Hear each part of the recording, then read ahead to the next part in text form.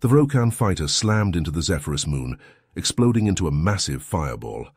As Lieutenant Jason Carter blasted overhead, his human reflexes and piloting skills unmatched by the aliens he fought beside and against. At 28, Carter was the sole human pilot in the Galactic Defense Force's elite Starhawk squadron, hand-picked for his abilities despite Commander Murlock's doubts about human inferiority. In the briefing room, the battle-hardened Saurian squadron leader paced before his team of insectoid cricks, avian evians and reptilian saurians. Murlock growled that the ruthless Vrokan Empire had a new raptor fighter that outclassed the GDF. Adapt or die was his message. Conquer this threat or watch the Vrokans annihilate their worlds. An alarm blared, announcing a Vrokan attack on a defenseless GDF colony. As the Starhawks ran to their fighters, Carter gripped his flight controls, determined to prove that human pilots were the best in the galaxy and the only ones who could save them all from Vrokan conquest. It was time to show these aliens how to really fly. As the Starhawks dropped out of hyperspace above the besieged GDF colony, Lieutenant Jason Carter's heart raced with anticipation. The battle had already begun, with the sleek angular shapes of Vrokan raptor fighters swarming the planet's atmosphere like a horde of angry wasps. All right, Starhawks, let's show these Vrokan scum what we're made of. Commander Murlock's gruff voice crackled over the com. Engage at will. Carter gripped his flight controls tighter, his human reflexes itching to be unleashed. He throttled forward, diving into the fray with the rest of the squadron close behind. But as they closed in on the Raptors, Carter quickly realized that something was wrong. The enemy fighters seemed to flicker in and out of existence, their outlines blurring and fading against the starry backdrop. I can't get a lock, Crick's pilot Zixtik hissed over the com. They're too fast. Carter watched in horror as a raptor suddenly materialized behind Zixtik's fighter, its plasma cannons flaring. The Crix's ship exploded in a ball of flame, the wreckage spiraling toward the planet below. All around him, the Starhawks were taking heavy losses. The Raptor's superior speed and agility made them nearly impossible to hit while their advanced stealth technology rendered them practically invisible to the Starhawk's targeting systems. Fall back and regroup, Murlock ordered, his voice strained. We need a new plan of attack. But Carter had spotted an opportunity. A lone raptor had broken away from the main group, its pilot growing overconfident. Carter broke formation and rocketed after it, ignoring Murlock's furious shouts over the com. The raptor wove and dodged, trying to shake him, but Carter's intuition and unorthodox flying style allowed him to keep pace. He could almost sense the Vrokan pilot's mounting frustration as he matched its every move. Finally, Carter saw his chance. The Raptor had made a sharp turn, exposing its flank for a split second. Carter squeezed the trigger, his plasma cannons roaring to life. The Raptor vanished in a blinding explosion, and Carter let out a whoop of triumph as he soared through the debris field. Carter, what the hell was that? Murlock demanded as Carter rejoined the squadron. You disobeyed a direct order. Sir, with all due respect, we need to adapt our tactics, Carter replied, his adrenaline still pumping. These raptors are too fast and too stealthy for our usual strategies, but I have an idea. Murlock's scaly brow furrowed. I'm listening. We need to use the planet's terrain to our advantage, Carter explained. Lure the raptors into the canyon network. Our fighters are smaller and more maneuverable. We can use the tight spaces and winding paths to negate their speed advantage. Murlock nodded slowly. And their stealth technology. The planet's magnetic field is incredibly strong, Carter continued. If we can disrupt their stealth systems even for a few seconds at a time, we'll be able to get a lock and take them out. There was a long pause as Murlock considered the plan. Finally, he gave a curt nod. It's a good strategy, Carter. Risky, but it might just work. Starhawks, you heard the man. Let's regroup and prepare to engage the enemy on our terms. As the squadron formed up and prepared to dive into the canyons below, Carter felt a surge of pride. For the first time, he felt like he truly belonged among these alien warriors, and that together they might just have a chance to save the galaxy from the Vrokan threat. The Starhawks dived into the canyons, their engines roaring as they wove through the narrow passages. Carter took point, his fighter hugging the canyon walls as he navigated the treacherous terrain, with a deft touch on the controls. The rest of the squadron followed close behind, their formation tight and disciplined. Stay sharp, Starhawks, Carter called out over the com. The Raptors will be on us any second now. As if on cue, a volley of plasma fire erupted from behind them. The Vrokan Raptors had taken the bait, their sleek fighters screaming into the canyons in pursuit of their prey. Engage at will, Murlock ordered, his voice crackling with static. Use the terrain to your advantage. The dogfight quickly devolved into a chaotic melee, with fighters twisting and turning through the canyons in a deadly dance. The Starhawks used every trick in the book to outmaneuver the Raptors, hugging the canyon walls and using the tight spaces to force their enemies into unfavorable positions. Carter was in his element, his fighter darting through the canyons like a fish through water. He lined up shot after shot, his plasma cannon spitting fire as he tore through the Vrokan ranks. But the Vrokans were quick to adapt a new wave of raptors suddenly appeared, their hulls bristling with strange angular protrusions. Watch out, Zixtik cried out over the com. They've got some kind of new weapon. A deafening screech filled the air, and Carter's fighter shuddered as if struck by a giant fist. His displays flickered and went dark, and he felt a wave of nausea wash over him. Sonic weapons, he gasped, fighting to keep his lunch down. They're trying to disable us. All around him, the Starhawks were in trouble. Fighters spun out of control, their pilots disoriented and helpless. The Raptors pressed their advantage, picking off the vulnerable Starhawks one by one. Carter gritted his teeth, his mind racing. They needed a new plan, and fast. Murlock, I've got an idea, he said, his voice strained. The geysers. If we can lure them into the geyser fields, the heat and pressure might damage their sonic weapons. There was a pause, and then Murlock's voice crackled over the com. Do it, Carter. Lead the way. Carter banked hard, his fighter screaming towards the geyser fields. The Raptors followed close behind, their sonic weapons pulsing with malevolent energy. As they neared the geysers, Carter saw Murlock's fighter take a direct hit. The Saurian's engine sputtered and died, and his fighter began to spiral towards the ground.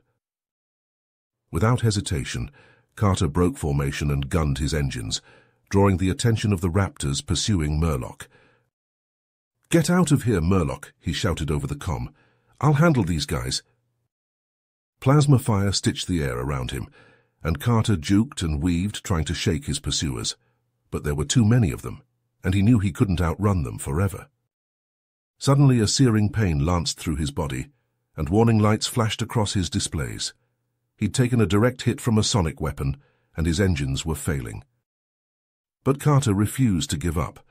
Gritting his teeth against the pain, he aimed his fighter towards the heart of the geyser field, the raptors hot on his tail. If he was going down, he was going to take as many of them with him as he could. As they neared the geysers, the air began to shimmer with heat. Steam billowed from the vents, obscuring the raptors' vision and interfering with their sensors. Carter's fighter shuddered and bucked as he fought to keep it under control. His life support systems were failing, and he could feel the heat searing his lungs with every breath. But he pushed forward, leading the raptors deeper into the geyser field. The pressure was building, the geysers ready to blow at any moment. Just a little further, he thought, his vision blurring. Almost there. Carter gripped the controls of his fighter, his knuckles white under his gloves. The heat from the geysers was intense, causing his engines to sputter and overheat. Warning lights flashed across his display, and he knew he had only seconds to act before his fighter suffered a catastrophic meltdown. With a grunt of effort, he shut down his engines, feeling the fighter shudder as it transitioned to a glide. The Vrokan Raptors were close behind, their sonic weapons pulsing with energy as they fired relentlessly at the surrounding landscape. Rock and debris exploded around him, filling the air with a haze of dust and steam. Carter's mind raced as he scanned the geyser field, looking for the largest one. There, up ahead, a massive plume of steam and water erupted from the ground, towering hundreds of feet into the air. It was his only chance. With a deft touch on the controls, Carter aimed his fighter towards the geyser. His eyes narrowed in concentration. The raptors were closing in, their sonic weapons charging up for another volley. Just as he reached the geyser, Carter fired his remaining missiles at the base of the plume. The missiles streaked through the air, leaving trails of smoke in their wake. They hit the geyser with a massive explosion, causing a chain reaction that sent a shockwave through the entire field. The geyser erupted with incredible force, sending a massive plume of steam and superheated water into the air. The pursuing raptors were caught in the blast, their sonic weapons malfunctioning and exploding in a spectacular display of fire and steam. The Vrokan fighters were torn apart by the intense heat and pressure, their wreckage raining down onto the planet's surface. But Carter's fighter was also caught in the blast, the shock wave sending it tumbling out of control. Warning alarms blared in his ears as his displays flickered and died, his life support systems failing one by one. He struggled to maintain consciousness as his fighter plummeted towards the ground, the wind roaring past his cockpit. Carter! Murlock's voice crackled over the com, barely audible over the chaos. Hold on, we're coming to get you. Carter's vision blurred and he felt himself slipping away, but through the haze he saw a glimmer of hope. The remaining Starhawks were forming up around him, their fighters moving in formation to slow his descent. The Evian pilot, Zephyr, closed her eyes in concentration, her feathered hands outstretched towards Carter's fighter. Slowly, almost imperceptibly, the human's descent began to slow, as if an invisible hand were guiding him towards the ground. Meanwhile, the Krix pilot, Zixtik, maneuvered his fighter alongside Carter's, his insectoid limbs working furiously to pry open the damaged cockpit. With a final grunt of effort, the canopy popped open, exposing Carter to the rushing wind. I've got him, Zixtik reported over the com, his voice buzzing with excitement, preparing to extract the human pilot. As the Starhawks worked to save their comrade, the remaining Vrokan forces began to retreat, their fighters scattering into the atmosphere. The GDF colony was safe, thanks to Carter's unconventional tactics and the teamwork of the Starhawks. But the battle was far from over. As Carter drifted into unconsciousness, he knew that the war against the Vrokan Empire had only just begun, and he would need all of his skills and the support of his alien allies to see it through to the end. The Starhawks fighters screamed through the sky, their engines straining as they raced towards the GDF medical facility on Zephyrus. In the lead fighter, Murlock cradled Carter's limp form, the human's blood staining the Saurian's flight suit. The rest of the squadron flew in tight formation, their faces grim as they escorted their fallen comrade to safety. As they touched down on the landing pad, a team of xenomedical specialists rushed forward, their expressions tight with concern. They carefully loaded Carter onto a hovering stretcher, their movements precise and urgent. Hold on, Carter, Murlock growled, his voice rough with emotion. You're not dying on me today. The human didn't respond, his face pale and still beneath the oxygen mask. The specialists whisked him away, disappearing into the depths of the medical facility. Hours passed, the Starhawks pacing the waiting room in tense silence. Zixtik fiddled with his insectoid claws, while Zephyr preened her feathers nervously. Murlock stood apart from the others, his gaze fixed on the door that separated him from his wounded squadmate.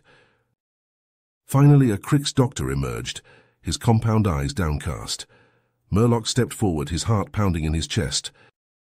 How is he? the Saurian asked, his voice tight. The doctor shook his head. We did everything we could, but his injuries were too severe. He didn't make it. The words hit Murlock like a physical blow. He staggered back, his eyes wide with shock and grief. Around him, the other Starhawks reacted with similar emotions, their faces contorting with pain and disbelief. News of Carter's death spread quickly throughout the GDF, his name spoken with reverence and sorrow. The human pilot had sacrificed his life to save the colony and his squadmates, and his loss was felt keenly by all who knew him. In the days that followed, Murlock found himself consumed by thoughts of Carter.